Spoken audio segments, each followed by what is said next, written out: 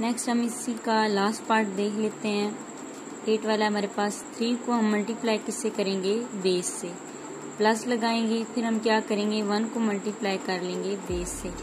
इसी तरह हम ज़ीरो को मल्टीप्लाई बेस से करेंगे और फिर हम प्लस लगा के ज़ीरो को मल्टीप्लाई फाइव से कर लेंगे। अब हम नेक्स्ट स्टेप में हमने इसकी पावर लगानी है ज़ीरो वन टू थ्री अब आप थ्री मल्टीप्लाई पहले हम पावर को सॉल्व करते हैं। आप इसको मल्टीप्लाई फाइव को थ्री टाइम आप मल्टीप्लाई करेंगे तो वन ट्वेंटी फाइव आ जाएगा। वन मल्टीप्लाई फाइव को फाइव से मल्टीप्लाई करेंगे तो ट्वेंटी फाइव इसको हम ऑटोमेटिकली ज़ीरो भी लिख सकते हैं। ऑटोमेटिकली क्योंकि हमारे पास ये क्या हो जाएगा? ज़ीरो से मल्टीप्लाई हो तो ये हम ज़ीरो लिख देंगे और ये भी हम ज़ीरो लिख देंगे। अब आप इसको मल्टीप्लाई कर लेंगे तो आपके पास आंसर आ जाएगा इन दोनों को मल्टीप्लाई करने से थ्री सेवेंटी फाइव और इसको मल्टीप्लाई करने से आपका आंसर आ जाएगा ट्वेंटी फाइव आप इसको ऐड करेंगे तो आपका आंसर आ जाएगा फोर हंड्रेड ये मेरे पास बहुत ईजी क्वेश्चन है।